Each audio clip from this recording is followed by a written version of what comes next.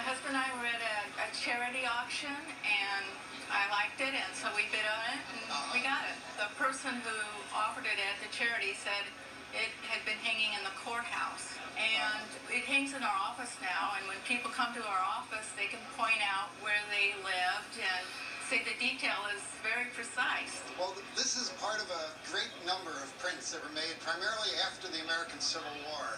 It's called a bird's eye view.